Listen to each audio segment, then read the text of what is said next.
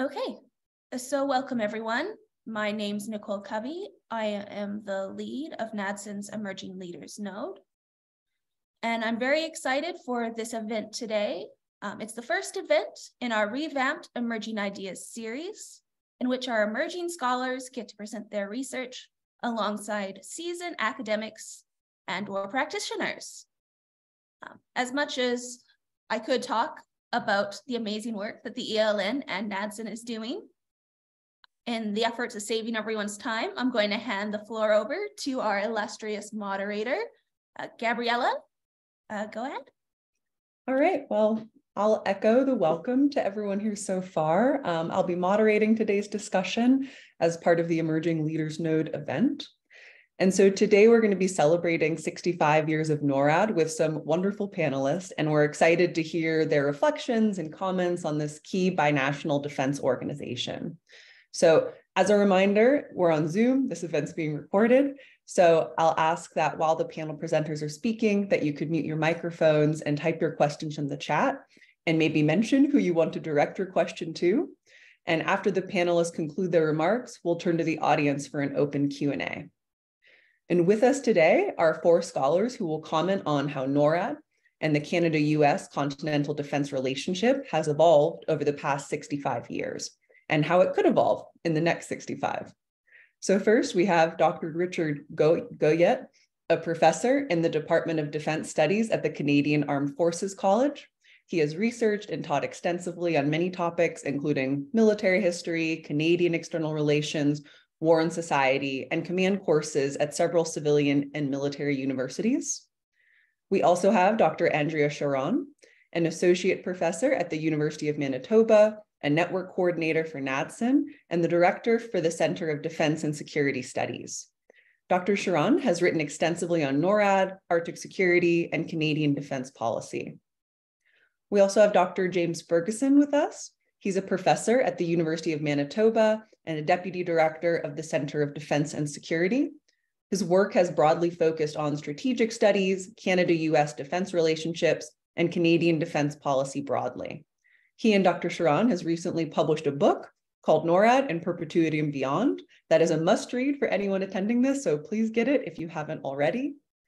And last but certainly not least, we have Nicholas Glesby, an MA candidate in political studies at the University of Manitoba and a fellow at NAADSN. His research is looking at the Permanent Joint Board of Defense. So without further ado, I'll pass it off to our first panelist, Dr. Richard Goette. You'll have around 12 to 15 minutes. Thanks very much, uh, Gabriella. I've, I've got only two slides, so I'm just going to take a second here to do the share screen on Zoom. Here we go.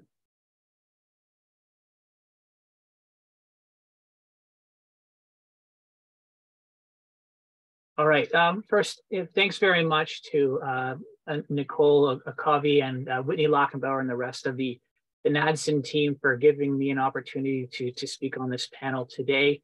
Um, unfortunately, I have another engagement uh, relatively soon, so uh, I'll have to duck out a, a little bit early. Um, might not be able to take part in the in the Q and A section. Um, today, my look at NORAD is going to be mostly historical and looking back at the most important precedents set when NORAD was actually first stood up. I'm going to start by first recounting my first NORAD experience when I was a young graduate student many years ago. I won't say how long, but let's just say it was before 9 11. And it was during a tour of the NORAD uh, Command Center in Cheyenne Mountain uh, in Colorado Springs, where I came to an important realization. Before, I didn't really understand or appreciate NORAD or the important continental defense relationship between Canada and the United States. But during the tour, when I was in the mountain, I got it. Um, I got it by seeing the American and Canadian military personnel working side by side, protecting North America. I was able to comprehend the integrated nature of the binational NORAD relationship between the two nations. This is something that was only reinforced when I was part of another tour uh, of NORAD years later, uh, the Operations Center in the Eberhart Findley building. I understand why and how NORAD is an organization, including ex uh, excellent personnel, have the watch. I, I, I was able to get it by being there. And so that's a major theme that I really want to touch upon today to emphasize that NORAD is a vital Canada-US partnership, that it's unique, And it's strengthened by the fact that it is a binational command partnership. Although NORAD is a bilateral agreement between the governments of Canada and the United States, as a military organization, it is a binational command. And binational goes further than bilateral. In the case of NORAD, in that it is a centralized, unified command um, that has integrated headquarters in Colorado Springs, consisting of military personnel from both Canada and the United States who work together side by side to keep the watch. The binational nature, nature of NORAD entails having the military forces of uh, two countries integrated into mutual defense uh, and, and looking after each nation's sovereign territory in partnership with each other. NORAD is therefore a recognition of that special relationship between Canada and the United States when it comes to shared responsibility uh, for continental defense, from which Canada accrues certain advantages. These include protection from for Canadian citizens, territory and airspace, access to superior American intelligence resources, having the ear of the world's most powerful country, but also opportunities for Canadian personnel. Indeed, the binational character of NORAD has also resulted in recognition that an integrated headquarters consisting of cohesive teams of Canadian and American military personnel are needed to ensure effective and efficient defense of North America. So reflecting on the importance of the human element, there's also a high level of trust and mutual respect among the Canadians and Americans and NORAD military personnel, emphasizing positive professional interactions and cordial working relationships between like-minded people in NORAD has promoted close bonds between personnel and encouraged the common views and uh, on continental air defense since the early Cold War that has enhanced NORAD integration and thus strengthened its binational characteristics. These binational characteristics of NORAD are also represented by its structure when it was first stood up and contains many enduring similarities to today. NORAD has always been twinned with the American Combatant Command, which today is US NORTHCOM. The four-star American um, military commander of NORAD is also double-hatted as the commander of US NORTHCOM. But this commander has historically always ensured to understand the uniqueness and the importance of the binational character of NORAD. Perhaps the most vital aspect of NORAD structure from a Canadian viewpoint and representative of its binational character is the position of the deputy commander, which has always been held by a Canadian three-star Air Force officer. The first officer to hold this position was Air Marshal Roy Slemon, who's actually buried in Colorado Springs, who joined the NORAD Commander General Earle Partridge in Colorado Springs in September of 1957. One of the key provisions of the original NORAD terms of reference was that when the commander was away, it was the deputy commander who was in charge, who exercised NORAD operational control in their absence. This clear understanding of the relationship between the NORAD commander and their deputy, especially when the former was absent from the headquarters, was essential for NORAD's success. It's an understanding that can, has continued with successive NORAD commanders and their deputies to this day. Another feature of the binational characteristic of NORAD is that from the very beginning, the Americans embodied in the way General Partridge established his headquarters, went out of their way to ensure Canadian involvement in NORAD as equal partners. Air Marshal Slemon's recollections are illustrative. He said, although we're a little partner making relatively small contribution to the operational capability of the joint effort, our views were considered in exactly the same light as our partners, the Americans. Importantly, in setting up the organization of the NORAD headquarters, in consultation with Slemon, General Partridge earmarked key positions in NORAD's organizational structure and staff for Canadians. Indeed, this practice of having Canadian officers in some of the most important positions in NORAD continues today to the great advantage of Canada's military in general and the Royal Canadian Air Force in particular. Perhaps most importantly, Partridge appointed an RCAF two-star as the Director of Combat Operations at NORAD headquarters former RCAF Staff College Commandant Air Vice Marshal Keith Hodson. Slemon considered the Director of Combat Operations position the guts of our joint effort. and a Canadian officer has subsequently held this position in Colorado Springs since that day. Indeed, this provision places of places of importance of, in NORAD in Colorado Springs continues today not only in Colorado Springs itself, but also the binational integrated regional component headquarters in Alaska and Florida, where Canadians are also deputy commanders there. And Canada has reciprocated with important positions for Americans in the Canadian NORAD regional headquarters in Winnipeg, this, which also includes a deputy commander position. The binational structure and characteristics of NORAD therefore have given Canada what Joel Sokolsky and Joe Jockel have termed a seat at the console at NORAD, where Canadian officers functionally ensure Canadian sovereignty while at the same time fulfill an important operational role in the defense of the continent. It has thus given them a functional front row seat and key positions at NORAD during some of the most dangerous crises, such as the Cuban Missile Crisis, the war scare due to the 1973 Arab-Israeli War, and of course, 9-11, to name only a few. And today, they continue to keep the watch against growing emergent threats from peer adversaries. So to, to talk about the future of NORAD, I really don't have that much to say on the future of NORAD as a historian, but especially since Andrea Charron and Jim Fergusson cover the topic very well in their excellent book, NORAD in Perpetuity and Beyond, which I highly uh, endorse. However, I would like to highlight three things.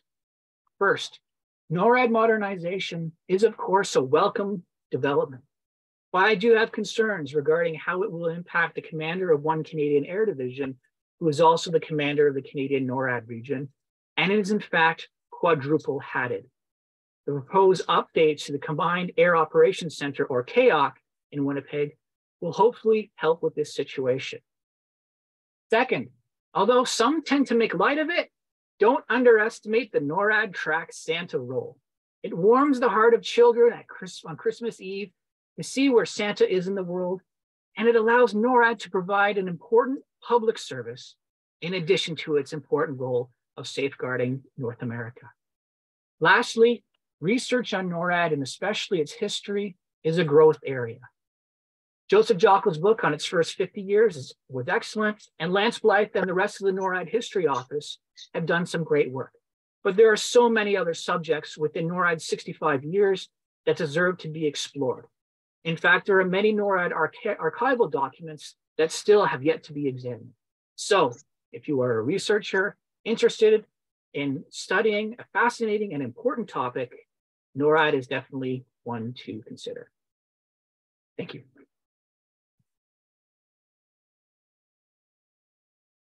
Thank you so much for your comments. Um, so interesting. I feel like I have already so many questions, but uh, let's turn to our next speaker, Nicholas Glesby. All right, thanks, Gabriella. And I'm just going to share my screen here, which is not what I'm doing at the moment. All right, can everyone see the slides now? Thumbs up, maybe? Thumbs up. Thanks, Wendy. All right. Um, Okay, thanks, Nicole. Thanks, Dr. Lackenbauer. Thanks, Dr. Dean, for the invitation uh, to present and speak today at the Emerging Ideas series. I thought it would be best to provide kind of a 40,000 foot overview of NORAD's past, present, and future. And it's really a reflection of uh, my visit to Colorado Springs last week. So even though we're celebrating NORAD's 65th anniversary, I want to begin all the way back in 1938. While in Kingston to receive an honorary degree at Queen's, and dedicate the Thousand Islands Bridge, Franklin Roosevelt made an extraordinary pledge the US would not stand idly by if Canada was threatened by any other great power.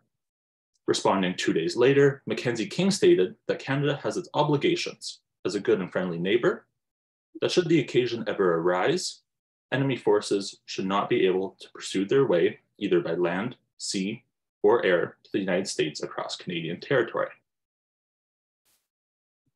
These statements, termed by historian Beattie and political scientist Haglund as the Kingston Dispensation and the Canadian Corollary, led to the more expansive Ogdensburg Agreement two years later, which created the Permanent Joint Board on Defense, or PJBD. The PJBD is a civilian co-chaired defense advisory board that makes recommendations on mutual continental defense issues to the President and to the Prime Minister. Its broad mandate includes considering the defense of the north half of the Western Hemisphere. So the Kingston Dispensation, the Canadian Corollary, and the Ogdensburg Agreement are the foundation of the Canada-US defense relationship. And the PJBD was paramount during World War II and advised on the defense of Newfoundland and Alaska, among other issues. The post-war order was upended in 1950 when the Soviets detonated a nuclear weapon, communists took control of mainland China, and the Korean War began, which partially resembles today's great power competition environment. The PJBD's activity resumed in 1951 with a priority on integrating Canadian and American air defenses, as the services now began to view North American airspace as indivisible. The PJBD was very busy in 1951. Recommendation 51.1 advised on the extension of the Pine Tree Line radar system. 51.3 discussed combined air training exercises. 51.4 gave the US limited ability to shoot down hostile aircraft in Canadian airspace, but with the caveat that as long as the aircraft was headed towards the United States.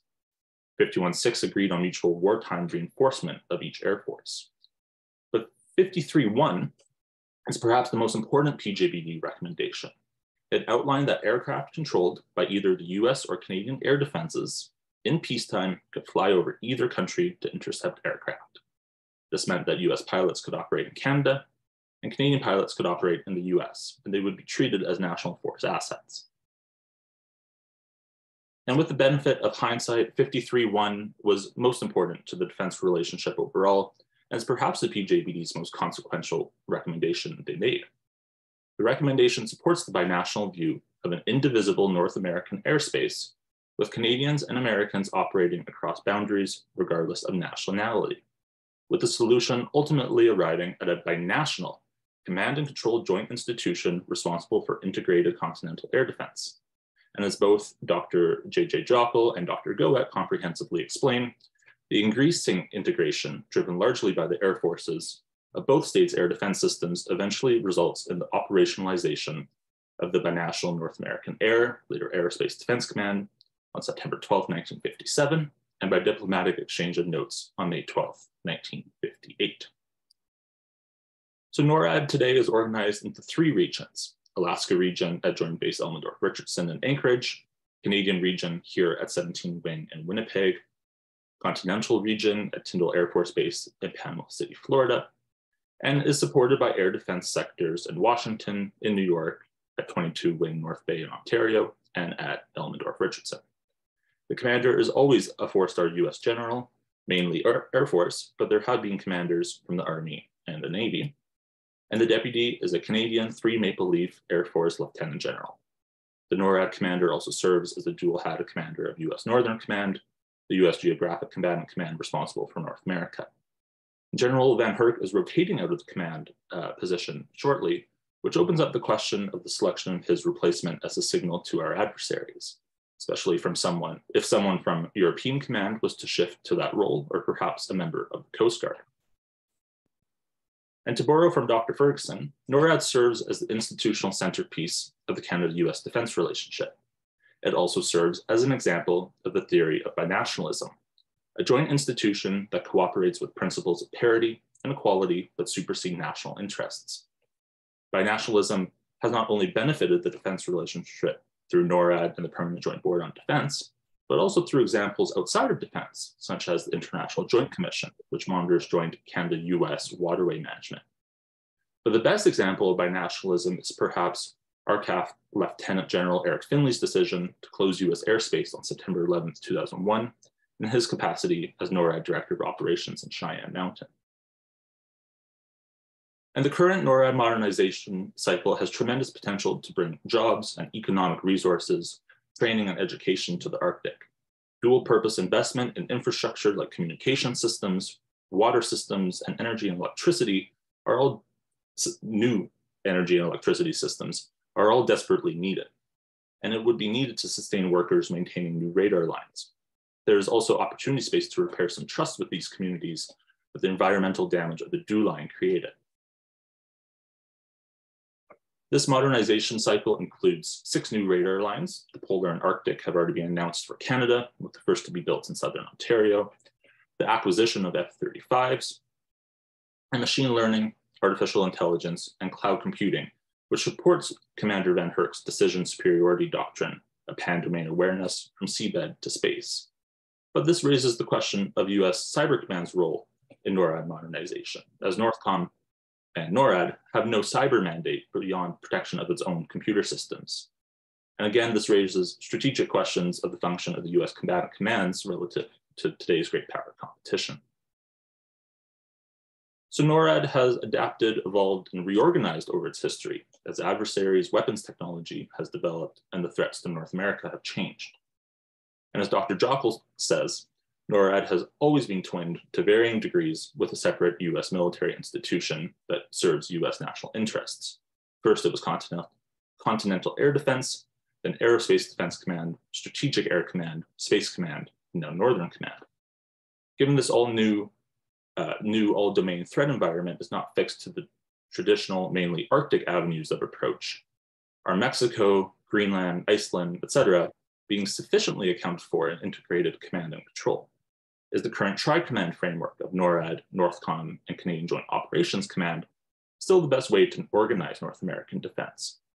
In the United States, are geographic combatant commands still the best way to ensure deterrence by denial to protect North America? And NORAD, like Dr. Charron says, has a global area of operations, but can only operate in the air and partially in the maritime domains. And this doesn't even consider the missile defense issue in Canada. So large questions are there. But NORAD acts as a symbol of stability in the Canada-US relationship beyond defense, especially during trade and economic disagreements.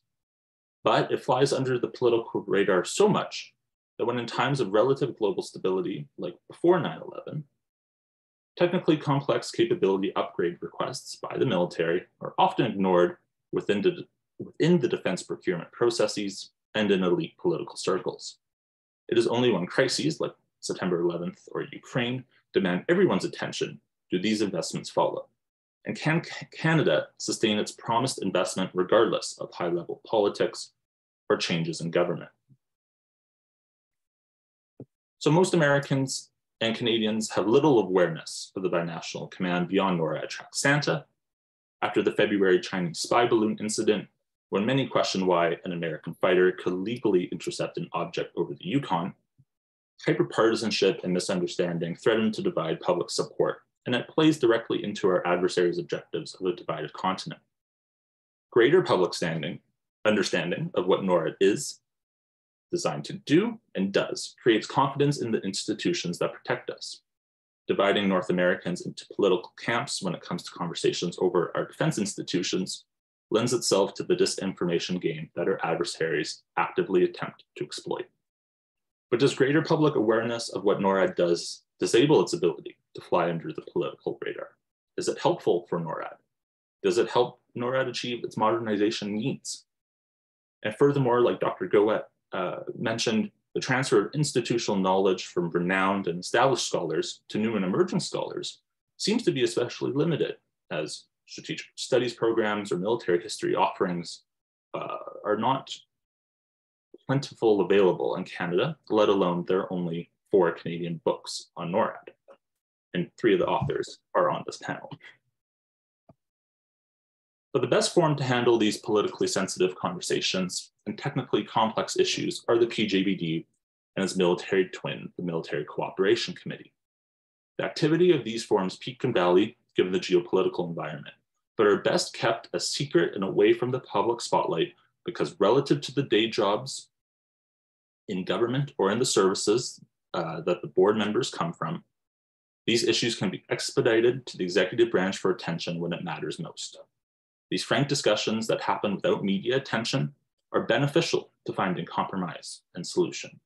And that's why regular meetings, combined with Ottawa and Washington's equal support of the PJBD in particular to study advise, and recommend on complicated defense issues of the day is key to ensure binationalism continues to be a success that our joint institutions remain above the fray of partisanship.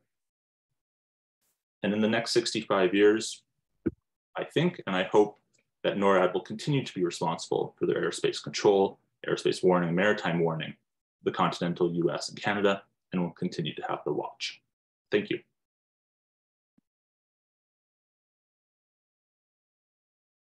Thanks so much, Nick.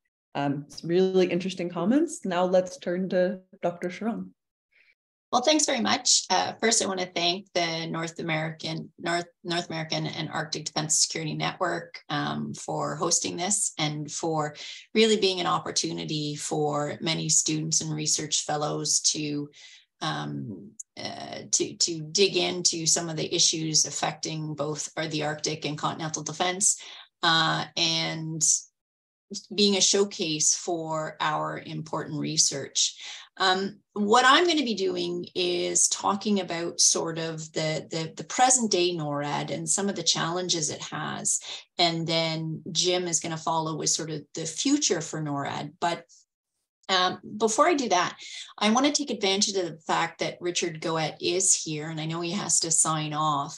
Uh, we wrote our book as a triptych. Um, Richard Goette's excellent, excellent book, Sovereignty and Command in the Canada US Continental uh, Defense between 1940 and 57, really was the foundation for how is it that Canada and the US got to this point that they would be considering a binational command. And then Joseph Jockel's book on uh, Canada in NORAD looks from 1957 when NORAD was operational. So, as JJ says, um, the fact that NORAD is celebrating its 65th anniversary is really a bit of a lie because it was up and operational in 1957. So, we're all behind by a year. But he reflected out until 2007, uh, when by that point we had US Northcom, it was twinned with NORAD. The, the agreement was signed in quote unquote perpetuity. And it uh, NORAD was given a new mission. So, in addition to aerospace uh, warning and control, it was given a maritime warning uh, mission. But I was going to take advantage of the fact that Richard is here and ask him, um, because he is a command and control specialist, the way that um, NORAD is sort of the foundation of it is this idea that US Northcom and NORAD are twinned, and it has a deep connection to CJOC, the Canadian Joint Operations Command. However, the Canadian NORAD regional headquarters, which is located here in Winnipeg, uh, is at you know not only arm's length but physical length uh, from the CJOC. And so I was hoping Richard might um, be able to give us some insights about that tri-command relationship and going into the future, what might we need to look at in order to quote unquote modernize NORAD.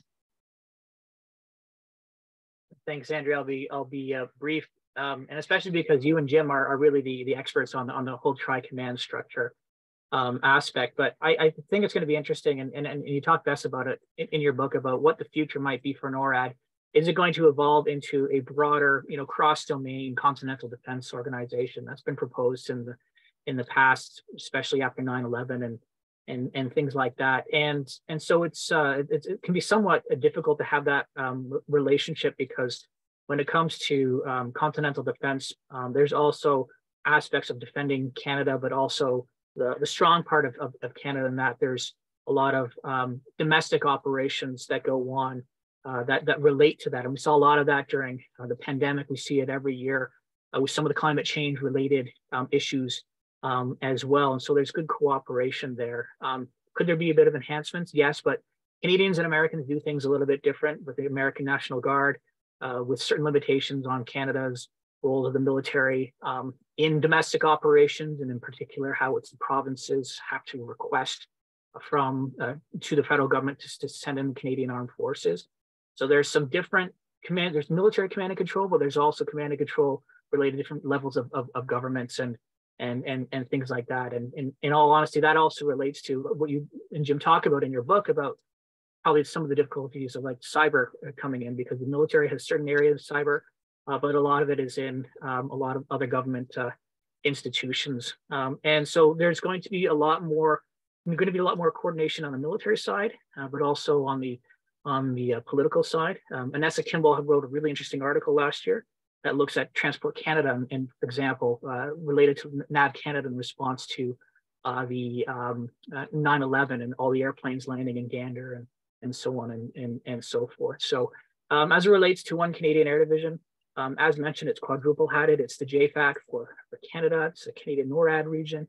Um, it's uh, responsible for all air defense or all air, air operations in Canada and also uh, expeditionary operations and, and for the SAR uh, region um, as well. So is that maybe being quadruple hatted a little bit too much with more NORAD modernization um, coming on? Uh, does it have the personnel, especially in the age of reconstitution, uh, to be able to uh, to, to handle um, the situation. I don't know, so I'm not sure how much that is going to be explored with uh, with NORAD modernization. Uh, and there is a representative of uh, the, the JFAC in nor in uh, CJOC headquarters, the the component, the ACE, um, who really does a good job at the colonel level um, to make sure that there's that air awareness. But again, that includes all the air operations, of which NORAD concerns is is a part. So definitely some challenges for the future. Thanks for the opportunity. Yeah, thanks, Richard. And Gabriella, I'm just going rogue, and I just thought I'd see if there's uh, any more questions for Richard because uh, he he really is the expert, um, especially on the early days of NORAD. So if anybody has any burning questions, uh, because he has to step out, um, Whitney. Rich, not a question will surprise you. If you had a wish list of you know, three projects or studies or books that you'd love to see written on NORAD to flesh things out, what might they be? And I'm thinking of some of our students within the network, and you can interpret that however the heck you like. Um, I'll say them, but they might be some my my own future projects. Who knows? But I encourage the students to get a start on it as well. Um, the, the role of NORAD during the Cuban Missile Crisis uh, would be a very interesting one. Uh, on the maritime side, there's been some really good work done on it on it lately. There was actually a book just produced this past fall by Mike Whitby from uh, DND's Directorate of, of, History and Heritage. That really um, covers off a lot of the maritime um, aspect. Um, and its maritime focus is there. It's really good for maritime warning aspect of NORAD, but the, the air defense uh, part has been partially told by Peter Haydon, but it needs to be uh, done in full. So I'm sure the official history team um, in Ottawa is working on that as well um, uh, a, uh, a study of NORAD and the Arctic specifically, that the history, um, I think would be really interesting, especially for, um, you know, from an NAADSN um, uh, perspective. Um, that would be, um, you know, very uh, interesting. and also expanding on your own work on, on the DEW line in terms of the roles, uh, the challenges, like a, a, a, long, lengthy monograph look um, at the DEW line, but also the North Warning System as a, I, I guess, uh, a bit of a, uh, a teaser for the NORAD modernization system that's going to be uh, coming up. Thanks. And in Rich's marvelous consummate diplomacy, what he's really doing is jabbing me because, dare I say, more than 20 years ago when we first met at Directorate of History and Heritage, I was there researching a history of the DEW line that still has not appeared two decades later. So thanks, Rich, you said it, not me. Reminder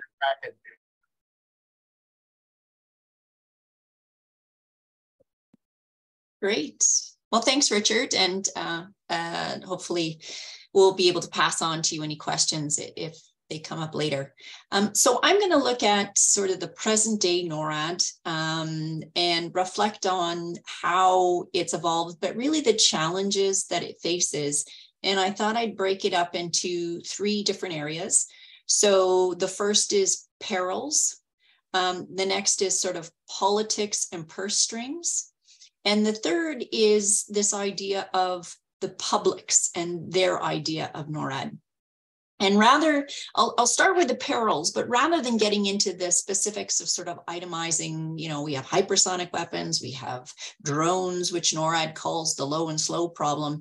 Um, I want to look at sort of four realities that NORAD is is always juggling. Uh, that that is a persistent are persistent issues in the background that they have to deal with. And the first is that NORAD is what we call both a supporting and a supported command. That means that NORAD is not a force generator. It cannot produce its own personnel and it can't produce its own capabilities. And so it's really reliant on both the US and Canadian militaries to chop over what we call a change of operational control, change it over to give personnel to NORAD, um, earmark, for example, CF 18s for NORAD service and so, of course, if there are any national priorities uh, that are affecting Canada and the US, uh, those promises can be pulled back. And so NORAD can't sort of generate uh, its own personnel and capabilities. And of course, the, the second sort of challenge is that both the US and Canada are really suffering from uh, readiness reconstitution challenges.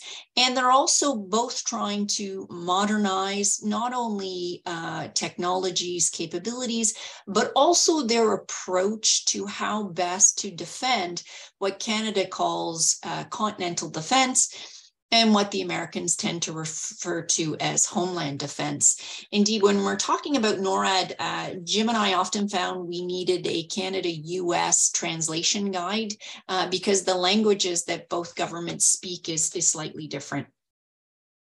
The third challenge for NORAD is that uh, its attention has shifted and it is usually a product of two things sort of the crisis of the moment, what are both countries sort of hyper fixated on at the time, and of course, the capabilities they have at the time to deal with that. And so we see that, you know, NORAD was always outward facing in its early days, of course, was, was most interested in the Arctic approaches and, of course, the Soviet Bear bombers over time that changed, but it was always sort of an outward facing uh, concern. What are the threats coming into North America? When the Soviet Union disappeared, uh, NORAD, similar to NATO, was sort of wondering, well, what will be our next reincarnation? But both had a momentum that nobody, I think, ever really thought that they would disappear. Nevertheless, NORAD had to think about what it was going to do next. And many people don't realize that it was instrumental in assisting with at least the air surveillance side of uh, the drug interdiction mission that was, was led by the US. We hit 9 11 and we realize all of a sudden that NORAD's focus outwards for threats coming into North America left it sort of uh, blind to what was happening within North America. And we then see NORAD sort of shifting to pay more attention into North America. Uh, we see the creation of this new operation called Operation Noble Eagle, which sets up sort of no fly zones in key over key cities, especially where the president is within North America. And then for major events like the Super Bowl, uh, G7s, Winter Olympics, so that uh, NORAD can assist with that uh, air warning and control aspect. It was also NORAD's um, shift to focusing on what was the key concern post 9 11 for both Canada and the US, which was terrorism, and especially a particular form of terrorism, a Sunni based form of terrorism. And so when you would go to the NORAD headquarters, you were introduced to what was called this subway map because it looked like a metro map. But it was sort of a timeline of all the key uh, major attacks on North America from these forms of terrorism. And while we were all focused on that, we were perhaps not watching or seeing eh, the rise of China and uh, Russia. And so today we have Russia is quoted as the persistent proximate threat to North America because of its capabilities and its and its geographic location. And then China becomes the pacing threat um, eh, very much uh, globally and specifically for the US. The other sort of perils factor that NORAD has to consider is that both Canada and the US have consistently thought that the best way to protect North America was really to deploy troops and capabilities overseas and to meet the threat as far away from North America as possible. And so that uh, compunction to orient away from North America and to problems that are located elsewhere means that uh, NORAD has had a really tough time, I think, convincing governments that they need uh, capabilities, funding, attention on a persistent basis. The next thing I want to turn to is sort of the politics and the purse strings.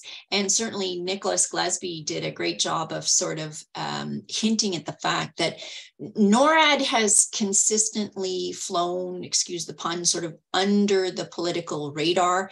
Richard Goette does a great job of showing um, it was a functional solution to create this thing called NORAD. It was the experience of both Canada and the US in World War II and their uh, air forces working together that they realized that in a Cold War context, they had to consider the airspace sort of indivisible. And therefore, what they needed was technical solution to this common problem, which was to consider that the airspace was in fact indivisible and that they should work together because it's such a technical process and you quickly when talking about norad have to talk about things like command and control and chopping over capabilities et cetera et cetera that the, the politicians lose interest and focus rather quickly. They understand that norad is um, uh, sort of run by the military um, and they're best left to sort of do what they do best and the politicians only get involved when there's a question of either agreements which used to have to be renegotiated every sort of five years or if there was uh, particular capital funding that had to go into the NORAD command. So that in addition to this Western way of war, which is always sort of oriented uh, away from North America, means that NORAD has struggled to get that persistent funding and attention. We all sort of um, peak curiosity around Christmas time when NORAD talks about tracking Santa. And of course, whenever there are relationship difficulties between Canada and the US, um, think about the difficulty we had renegotiating uh, the NAFTA agreement. Of course, we all reflexively turn to NORAD as sort of a, a confirmation that all is right with the Canada US uh, relationship. But nevertheless, in this new uh, geopolitical world and the changing technology that we have, NORAD needs consistent, persistent uh, attention and funding. Um, one of the things we discovered from the 9 11 um, review was that, you know, NORAD had been saying for a long time they needed to be able to have direct feeds into the NORAD um, operations center so that they could see what the Federal Aviation Administration and NAV Canada were seeing rather than sort of it being relayed when there was a problem. Um, computers needed updating and a recognition that increasingly a lot of the information that NORAD needs, notwithstanding the fact that they only have, you know, 1.5 domains of concern, sort of the aerospace and maritime warning, a lot of the information and intelligence they need is housed by other government departments and even other allies. So it's been a slow process for, I think, uh, both Canada and the US. How do we integrate this extra information and intelligence so that we keep um, important information secret or classified, especially if we're talking about a support to law enforcement case? We don't want to prejudice any future prosecutions. Um, but at the same time, dealing with a behemoth like the US, which often tends to overclassify information. And so it feels a bit like they're a big vacuum um, cleaner. They're sucking up all this intelligence and information, especially from other allies and trying to get it from other government departments. But then being able to access that information, even your own information that you've passed along, if it's been classified as, you know, no foreign, uh, becomes a, a consistent struggle. And that's not one that politicians generally want to weigh into. It is up to the technocrats to sort that out.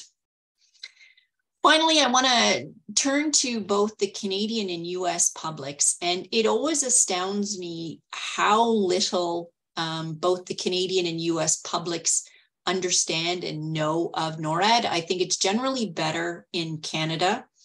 Uh, in the US, when we were in Colorado Springs, you know, if you randomly stopped people and said, We're here for NORAD's 65th, they sort of looked at you blankly, like, What are you talking about? So, NORAD is really, I think, a combatant command because it has a four star general as the head. And that seems to be one of the key criteria to have a US combatant command um, designation. But what's really special about NORAD is it has a global area of operations as opposed to a discrete area of responsibility, which the other US combatant commands have. And so if you talk to Americans about Indo-PACOM or, or US NORTHCOM, they have a little bit more understanding what that is. But in Canada, of course, we have this thing called the Canadian Joint Operations Command, which is not only Canada wide, but also responsible for operations overseas that are not Special Forces or NORAD. Uh, and we have this really funky tri command relationship. So it's really hard for people to get their heads around it. But it was made, I think, most clear when we had that Chinese spy balloon, which was shot down on February 4th in 2023 the Secretary of Defense, Lloyd Austin, uh, released a statement on February 4th that, in essence, said that the spy balloon was shot down by a US Northcom asset, which I find interesting because it's really not the purview of US Northcom. And then thanked Canada and NORAD for their uh, role in detecting and warning of the spy balloon, which kind of circumscribes what it is that NORAD in Canada did in relation to the tracking of this and several other balloons.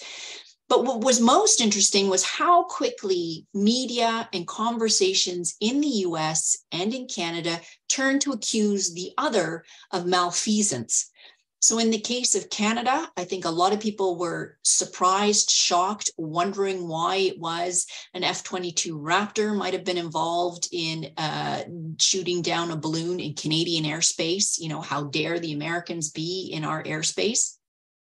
And on the American side, I think it came as a great uh, shock to them that anybody but Americans were responsible for sort of the the, the warning and defense of uh, the continental United States. And I think that's what we're going to need more attention to. We know in Canada it's very difficult to get the Canadian public to be interested in defense issues in Canada with what modernization entails in the future and this um, drive by the US military to achieve all domain command and control, which really does require all militaries and even other government departments and allies to start to integrate their efforts and information, um, not understanding the roles and functions of NORAD is going to make it even harder for politicians uh, to weigh in because they're always going to have to deal with the misunderstandings and misinformations of their own Canadian publics and US publics first before they can even get to um, the discussions about how to modernize. And here I'll turn it over to my colleague, James.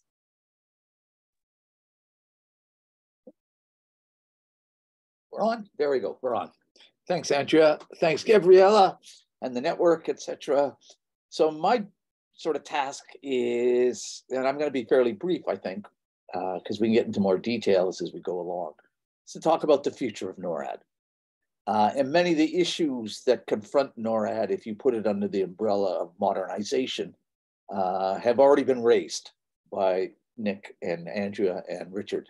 Uh, so we can go into more details down the road, but let me begin with this. And again, it's always difficult to predict the future. We all know that. Uh, let me give, be, begin by paraphrasing the old English saying there will always be a NORAD. Why? Uh, well, Richard raised it very clearly, and it's been raised that for simply at a minimum, and there's a lot of reasons, but at a minimum, NORAD is at a, is the symbolic institutional centerpiece of the Canada-U.S. defense relationship in North America. And I would suggest to you that it's more than just the North American. It's a centerpiece institutionally of the Canada-U.S. defense relationship writ large, even though people don't usually make a broader connection from NORAD. And it's difficult, if not near impossible, to imagine under what conditions, what catastrophe would lead NORAD to collapse, would lead both parties to walk away. Um, it, it's just almost impossible to imagine why uh, that would occur. Uh, so NORAD's not going to go away. The real issue for the future is what will NORAD do in the future? Uh, and you can start here with what we call a minimalist and maximalist uh, options. The middle, minimalist option is that NORAD will stay in its box.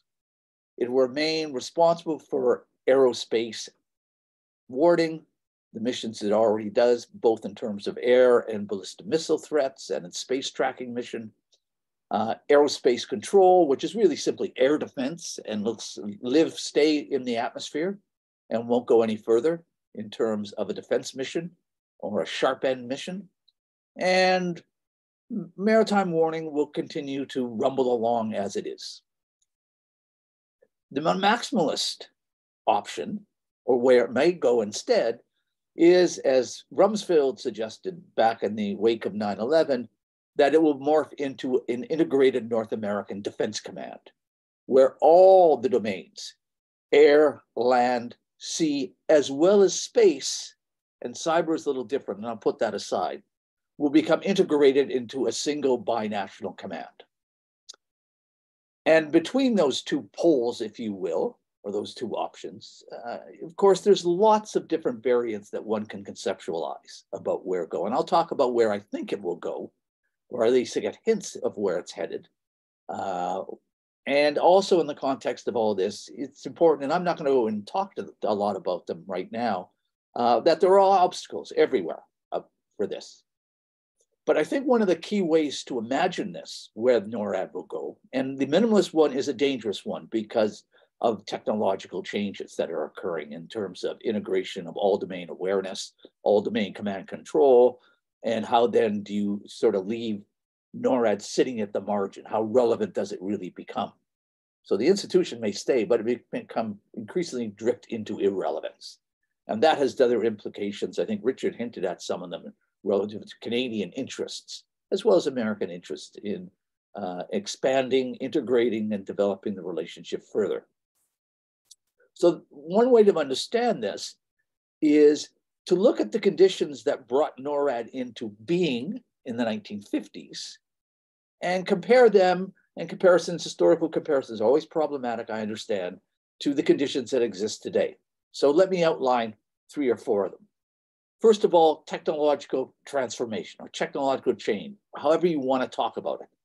Uh, in the 50s, coming out of World War II, the experience of strategic, the strategic bombing campaigns in World War II, the expectation that this would be copied.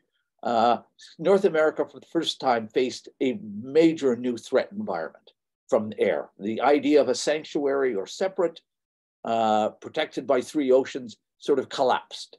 And with the Soviet development of long range aviation and nuclear weapons married to them, you now had a significant defense problem which would then drive the need to how to manage this effectively and efficiently uh, between Canada and the United States, married at the hip, not just for values and political reasons, but simply for geopolitical reasons, for geographic reasons.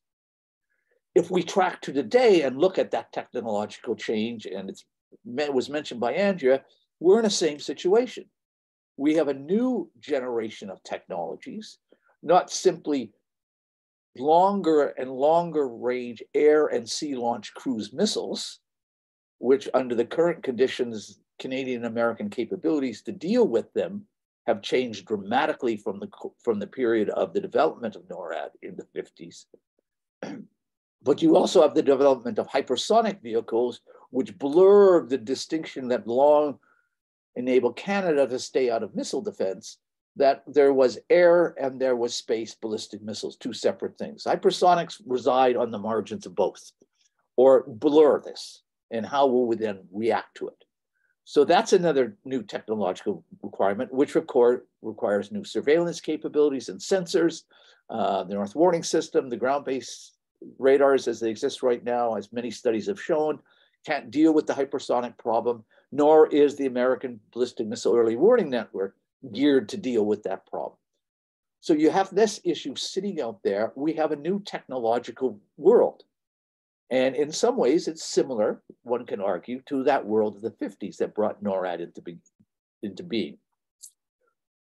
The second, of course, is the political environment, or this international environment. As you know, 50s, we have the Cold War, deep hostility and adversarial relationship between the United States and the Soviet Union, driven by a lot of factors, which is an important environment which could drive the importance of defense forward in North America and cooperation. And today we have a similar environment with, as Andrea mentioned, with the Russian problem and the Chinese problem. And these two then feed into another interesting comparative phenomena.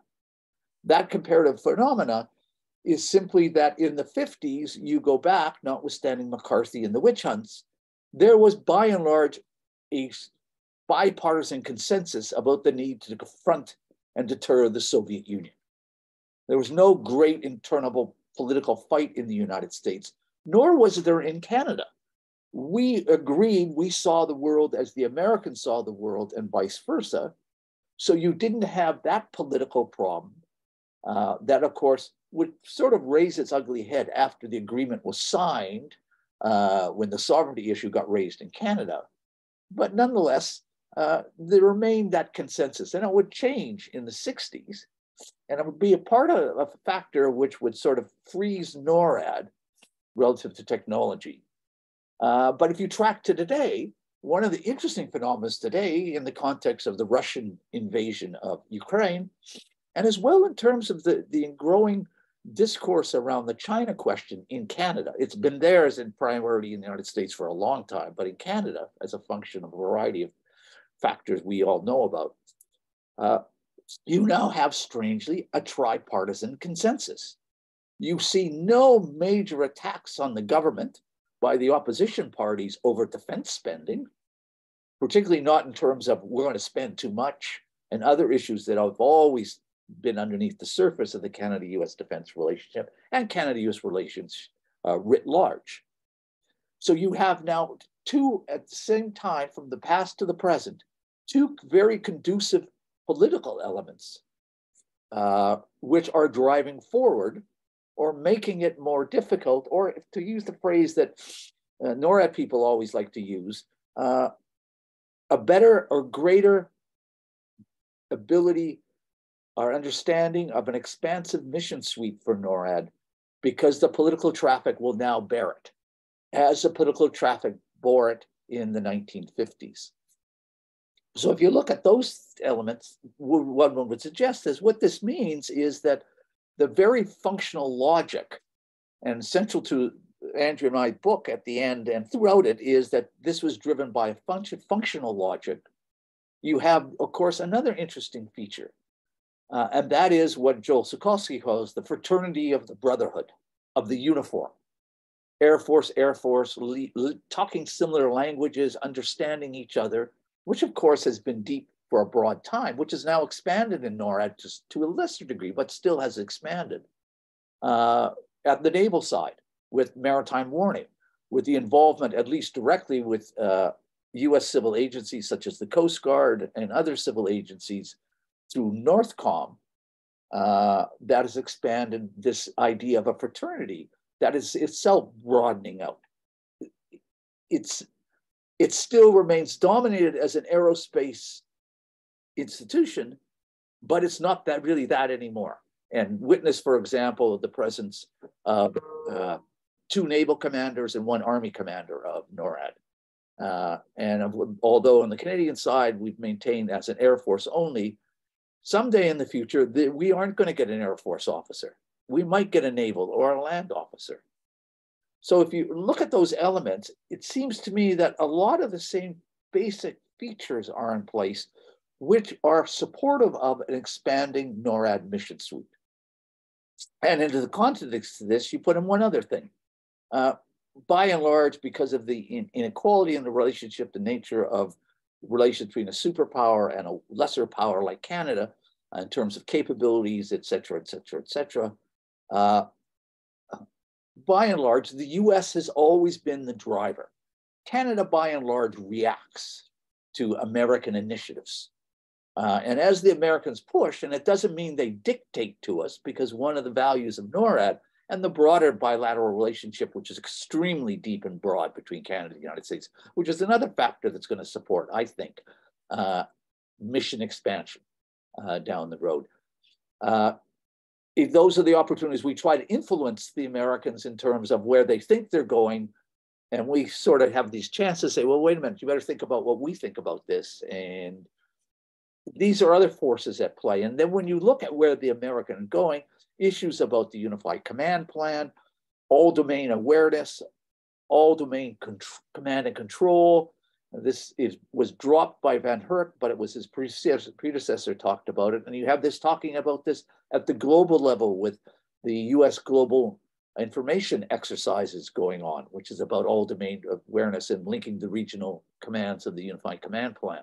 You have all these forces at play. And one of the great things of NORAD is we get to be there we're the only ally playing in this. And we don't play much, but we get to know what they're up to. And if this is the process that's of integration, the Americans, then this is going to spill over into the relationship with Canada because Canada will have to respond to this.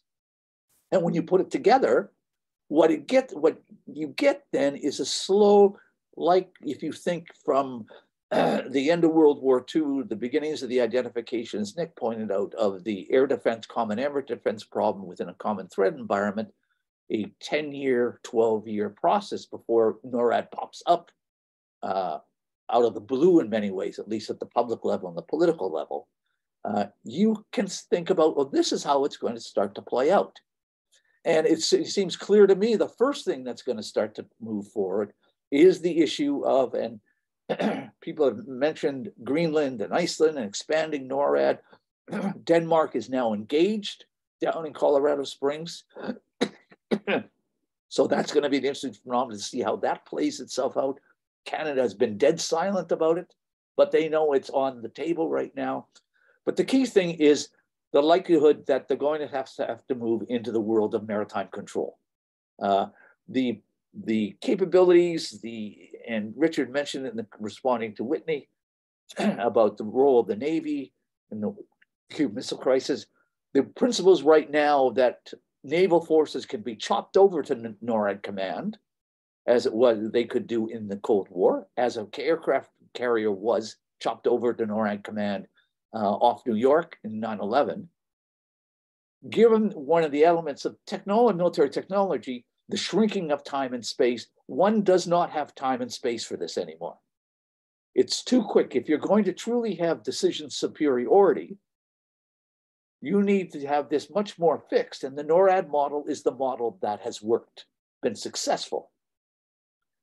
So it seems to me, at the end of the day, I'm going to end here, is that when you look about modernization, and generally we talk about NORAD modernization, you know, new radar lines, uh, new uh, uh, fighters, etc., new command and control capabilities with this artificial intelligence, the Pathfinder initiative, initiative coming out of the United States.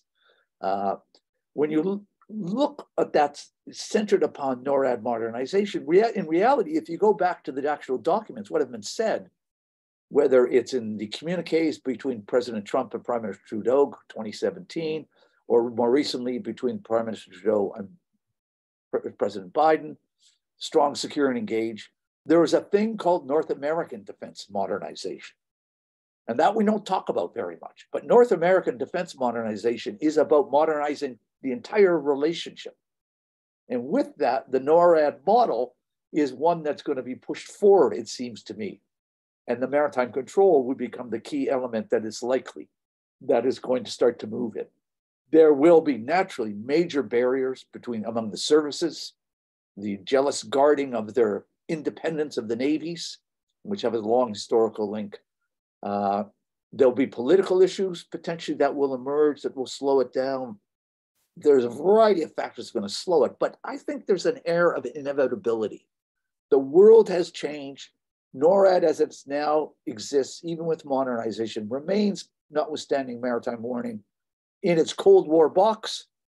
And that's no longer functionally efficient or effective for the joint defense of an ind indivisible landmass. And that landmass is North America. So I'll end there. Thanks very much. So thank you everyone to our speakers. Thank you, Dr. Fergusson as well. Really great comments from everyone. Um, I feel like as moderator, I have the right to ask the first question. Um, so I'll ask Andrea. Um, you talked about this interesting balance between NORAD operates really well because it can fly under the radar in some aspects and kind of stay away from hyperpolarization. But you know, there's still that need for persistent funding and attention to really achieve things. So I was just wondering if you could speak to that balance and if there's a happy medium ground to find.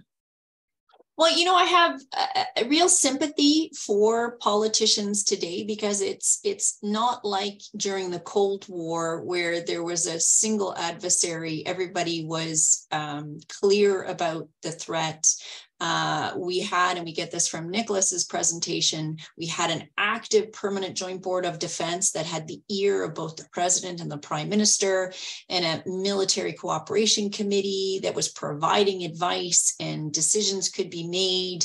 Um, they tended to be nonpartisan decisions. It was all about the defense of North America. Today, we're in a very different world. Um, it's technologically far more complicated. It's not clear where the threats um, are. And of course, Washington and Ottawa have a different perspective on the threats on which to, to um, uh, pay attention to as opposed to what NORAD's uh, mandate is. There is now, you know, I would say hyper partisanship more and more, especially when it comes to things like defense procurement. And we have a public um, that sort of vacillates in terms of interest and uh, reward for paying attention to defense and security issues. So, really, really complicated. Um, and we have, at a time when it should be most active, uh, a PJBD that's been really quite marginalized. Um, and I think one of the questions I would ask Nicholas is do we have the right um, membership in terms of uh, chairs, co-chairs for the PJBD? Because that might also be affecting uh, decisions and and percolating issues to the top. Do you want me to go, or do you want to interject, Gabrielle? No, go ahead. um, well, historically, the PJBD co-chair was someone that um, was appointed based off of political expediency or, or favor to the president or the prime minister. I think that the US's uh, new appointment of Assistant Secretary Dalton uh, reemphasizes what you said about technologically complex uh, threats and, and weapon systems that a technocrat is now in the US co chair position. And her equal in Canada is not in the Canadian position. So I think that's potentially somewhere that uh, Canada needs to um, maybe place a little more value on. Um, even though Dr. Jockel, for example, says Canada has typically uh, paid more attention to the PJBD than the US has, seems like that's kind of flipped.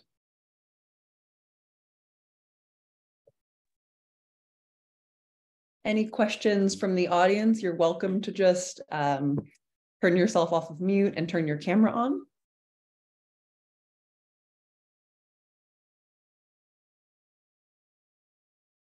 Go ahead, Mihai. Okay, thanks. Um, this question goes uh, for Dr. Fergusson. So you're you're mentioning so basically in line with your overall theme of the future of NORAD. I was wondering if you can be able to comment on how we how we can best pursue uh, regional development initiatives. So since NORAD modernization also includes research and development initiatives alongside its other um, its other how do I say this priorities that it wants to go through. Um, I want to know what your thoughts are about Canada engaging with the United States about co-developing anti-hypersonic defense capabilities, and if possible, could you be able to comment on the benefits and challenges of obtaining some of these capabilities for our own defense? There is a largely moribund uh, agreement between Canada and the United States called the, called the Defense Development Sharing Agreement, in which goes back to the early 60s and relates to the, the agreement earlier, which was known as the Defense uh, Production Sharing Arrangement. Uh, the DDSA was basically designed to facilitate what you are mentioning, co-development of weapon systems there was a ceiling put on the amount of the program each would contribute when they agreed uh, on that to move forward on this. Uh, the problem that's happened is it's never been modernized. So the amount is so minuscule compared to the cost of research and development today for dealing with advanced weapon systems or developing advanced weapon systems that it really sits there dead. Uh, but it is a tool long forgotten by everyone that you could resurrect uh, as a means to move something like anti-hypersonic capabilities in a joint development. The probability is extremely low for a variety of reasons, however. And it doesn't mean that Canada and the United States uh, are going to sort of go their own way, you know, only in the sense that they've always gone their own way. Uh, so what I mean by that is if you look at D, uh, DRDC right now and what's on their priority list, and again, we don't get much fidelity uh, in terms of exactly what they're doing. Then you look at what the US is doing, particularly out of DARPA on these things and, and other places, the US being much larger than us, and we've never been very good at investing in defense R&D. Uh, there, there is commonality. So I wouldn't call it the possibility of a co-development, but they will sort of run on different similar tracks and integrate with them. And this then you have to put in the context of the Canada-US defense industrial technological relationship. We have to understand the reality of Canada and where Canada sits with the US. You look at the structure of Canada defense industries and technology. Over half of them are American-owned subsidiaries. A larger portion, if you even expand that further, they are connected into the American supply chain process. Uh, you have significant American companies present here. Likelihood, I don't know the answer right now, but the likelihood, for example, uh, of what company is going to get the uh, uh, over the horizon radar contract, and I don't know if it's been released yet, but I can tell you right now, the company is going to be Raytheon Canada. Uh, and they will draw mostly upon access to advanced technologies coming out of Raytheon in the United States. And you can do this with General Dynamics subsidiaries for all, all of these. So there's a joint interest. There's a common interest, which is part of the impact of hypersonics. There's a recognition that something has to be done. Uh, you look at where the, the major players are here, they're really not in Canada, but because of Canada's relevance to all this, and it can't be ignored, uh, that's how Canada ends up being engaged in these things. So, as I said, I don't think there's going to be a former co-development program at all, but there will be this interactive that's classic in our relationship with the United States. Andrea, you have your hand up. Yeah, well, I was just going to add, and I, am not going to talk about hypersonics um, but when we talk about co-development, we usually think about it in terms of a government to nation to nation indigenous peoples sort of co-development uh, of projects and spin-offs and effects. And, you know, I think what I, I, I appreciate is that um, unlike when the DEW line was upgraded to the North Warning System, there's absolutely no consultation with local Indigenous peoples and no thought to clean up and the like. We're starting to hear the military talk about um, being conscious of the multi purpose, multi need effects of especially the infrastructure that sort of undergirds much of the NORAD modernization. Think about the runways, the potential communication systems that will link these systems of systems. Um, and, and they're at least floating in the air is this requirement that maybe rather than simply thinking about defense only needs that we consider um, the needs of communities but there's a caution there one, you know, the Department of Defense is not in the business of helping with things like water treatment centers and, you know, uh, strengthening governance systems and ensuring persistent funding for Indigenous uh, um, hamlets. Uh, you know, it's related to dual use uh, infrastructure. On the other hand, I worry that it's, again, you know, a tick in the box. Okay, we've thought about it. We can now move on. Um, and so I'm hoping that there's going to be considered um, interest and um, connections to where the infrastructure is going and, and what, if any, of the possible multi-purpose benefits there can be. If I could just add something real quick, Dr. Fergusson mentioned the Defense Production Sharing Agreement. And if I could go back to the PJBD, that was actually a recommendation in 1949 that Canada and the US buy military equipment from each other during peacetime, which if I can plug, not only shows the importance of the PJBD historically, but that having this forum to sit and think and advise and recommend is important even in peacetime. We have a question for Nick about the PJBD. So given that we've talked a lot about NORAD modernization, um, should the PJBD be modernized? Are there things that should develop or be different from how it was in the past? What, what recommendations or ideas might you have?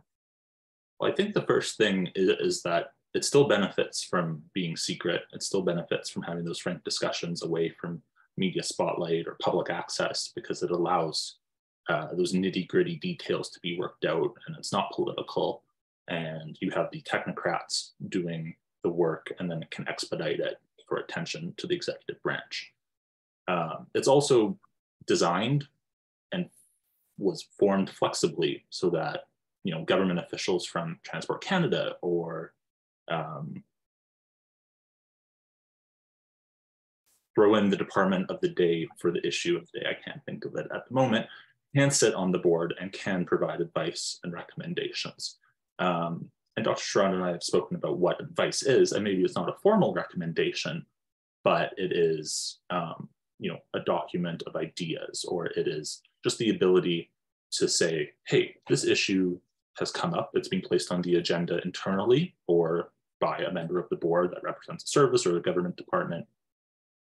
And it, it goes to the executive branch and says, this is a pressing issue, or this is a issue in the short term or long term that needs to be addressed or needs to be at least thought of. Thank you. We also have a question about um, something that we've talked a little bit about today. So the potentially expanding of NORAD to include other countries. So Denmark, Green, Denmark and Greenland, Mexico, Iceland. Um, if there's one of the panelists who wants to take a stab at that and talk maybe what are the possibilities of that, any possible drawbacks, um, feel free.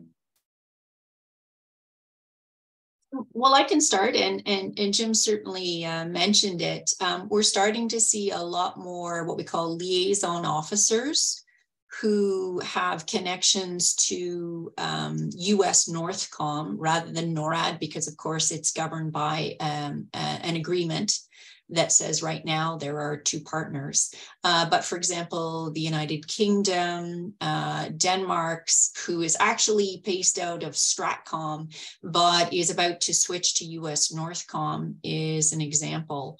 Um, so I, I, I, think there are um, ways to get at including more states in this thing called NORAD, um, especially via US Northcom.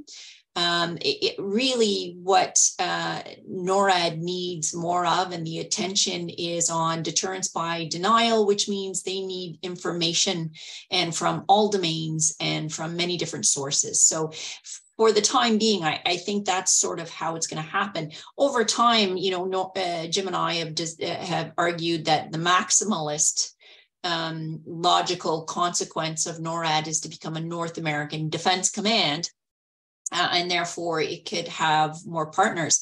But I also want to caution we often hear that NORAD is the only binational command in the world.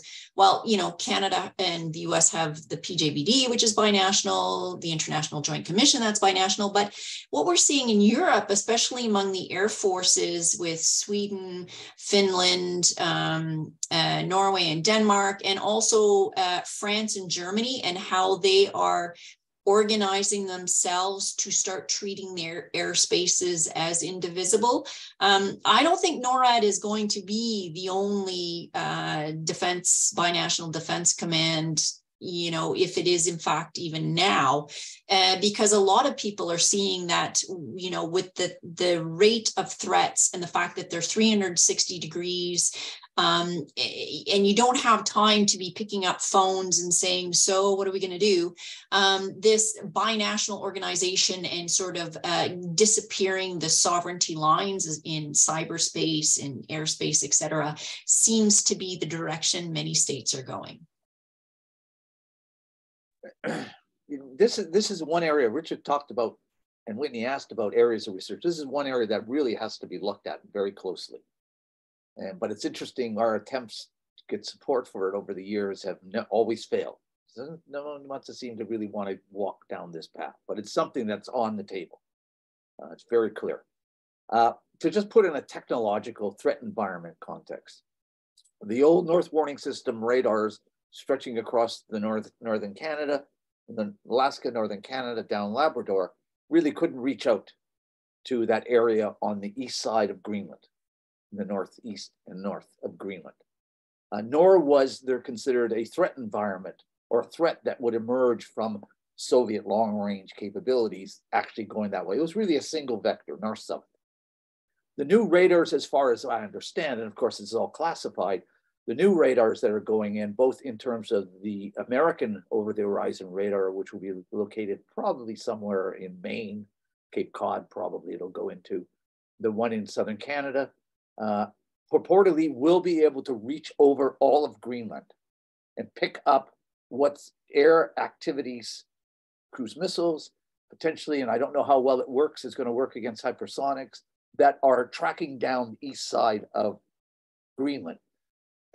In all the principles of NORAD that you go back is the idea is to push defenses forward as possible to intercept them and by and large to give you more than one intercept attempt launch points of Russian cruise missiles, long range cruise missiles, both air and sea based, are now more and more sitting off the east coast of Greenland. So that's a problem that has to be managed in terms of how then do you deal with, and I'm going to talk Greenland specifically, Greenland, the relationship of Greenland, which is the relationship with Denmark, into a thing we call NORAD. Particularly recognizing, and of course, Canada gets berated many times mostly by the academic world looking at this and others, that we really don't invest enough resources in defense. We really relying too much on the United States. Well, if that's the case, and we still have NORAD, which has worked very well for us, uh, Denmark basically has little, if any, resources to devote. Uh, they are a very small military, and as Andrea pointed out, like all the Europeans in the NATO problem is that they're looking either directly north or east. They're not looking west, and they have other strategic interests in terms of it.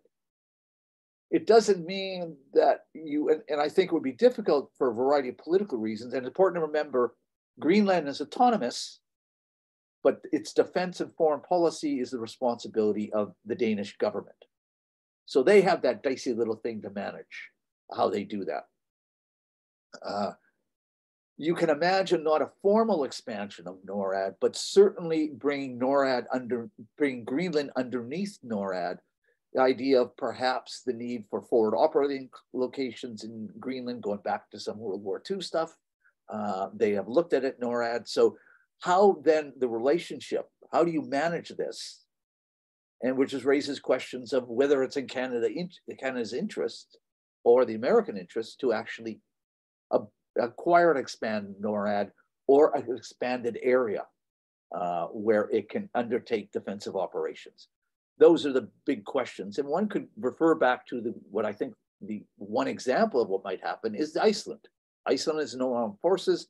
NATO uh, is a member of NATO, so NATO provides this protection. But in reality, throughout the Cold War, the Iceland question was a bilateral American arrangement. And you can have this, and that's the nice thing about Greenland and the NATO umbrella. You can stuff it all into the NATO umbrella, call it NATO, but in reality, it's not. Mm-hmm. So that's some of the issues involved. And just jumping from what Jim says, I mean, I think one of the areas we really need to pay attention to is the Joint Forces Command Norfolk, which is twinned with the Second Fleet. It seems to be expanding beyond just uh, maritime uh, missions. And so we have a NATO headquarters nested in North America. That's never happened before. Uh, and so, what is that going? What is the impact going to be of that on NORAD? Um, I, I really want to dig more into that because I think it's it's important and evolving uh, relationship and command and control challenges. Thank you both. We are nearing the end of our time. So does anyone have a last burning question they want to get off their chest? Whitney, your camera's turned on, so I thought, you know, maybe. oh, I'm always good for a question. Um, so Andrea, Jim, Nick, you were all in Colorado Springs last week for the NORAD 65th, 66, 65.5 anniversary, whatever we want to say. Would any of you have any reflections on something surprising that came out of the discussions or the activities there uh, around the, the Homeland Defense Institute workshop? Anything surprising or any questions that came out of those discussions or those activities sort of as hot button issues that people like Chris and some others might be interested in hearing about? Well, I, I, can start, and Gabriella was there as well. But, um, you know, Jim and I have been going down to Colorado Springs for a while, and it was always, you know, the NORAD and US Northcom discussion two token Canadians. And so the discussion quickly became US Northcom. And we kept jumping up and down saying, no, no, no, that's not NORAD. And they kept looking at us going, what, what, what? Um, we're starting to see that there is a little bit more thought about NORAD, but it still feels like we're playing bowling with gutter guards up. Like it's really hard to get the Americans to jump over the gutter to, you know, like there's a whole other lane you need to know about, which is the NORAD lane. So, you know, stop playing the US Northcom lane and flip over to the other one. So that that's sort of my impression. Yeah, I would just echo Andrea. And, and Northcom's a beast. I mean, it's a real beast. We don't know. I think we don't understand it. So NORAD, if, if you variety of measures, it's some of this little thing on the margin. Northcom is the game. Uh, and Secretary of Defense Austin, who was wrong because it wasn't a Northcom fighter, it was a NORAD committed fighter. But he was wrong. Whether he understood it, what he was saying, or there was political motives, I don't know. So I agree with Andrea. There's nothing that we've seen surprising, uh, but it's part of the danger of what I call the minimalist solution. Unless we start to do something more in terms of simply sending a NAV Canada person to, to these headquarters, which would be a nice start of a little thing to do. Uh, unless we start doing more, this is the problem of NORAD becoming more and more marginalist and pushed more and more into its box and told that's very nice. It's like uh, imagine, you know, the adult going to the child, patting them on the head, so that's very nice. You're doing very well. Now go away and don't bother us anymore. We got serious business to do. But none of that's new. It's always been sitting there. We've all, it's always, anyone who's looked at this knows of this problem. And of course, it raised, particularly raised its head after 9 11 and the brakes Canada put on uh, NORAD expansion. So I, I can't say there's anything new. No, no, I have, I just can't see it. We've just been there so long. We hang out there too much. We gotta go find, we gotta go to Norfolk. That's where we're gonna go, Norfolk. I haven't, don't hang out. Navy's always interesting. Sorry, I should. I'll be super quick. It was my first time in Colorado Springs, and I had two very general observations. One was the surprise that Canadians weren't included in the classified briefing. Not that I was going to be in there, but in the classified briefing in the afternoon, and that kind of plays into your point, uh, Jim, about Northcom being this beast and kind of in the box. And the second point, very general, was I don't know why it surprised me, but the complete lack of diversity and women and any sort of minority in the academic symposium on the second day. I think in Canada, especially through, not to plug a different Minds network, but through CDSM, they have the uh, undergraduate uh, minority scholarship. And I was just, I was blown away at, uh, at what the room looked like on the second day. All right. Well, thank you so much, everyone, for your reflections on the 65th anniversary, the panelists themselves, all of the wonderful questions that were asked. Um, we'll end the discussion there. And thanks so much for attending the event. Thanks, everyone.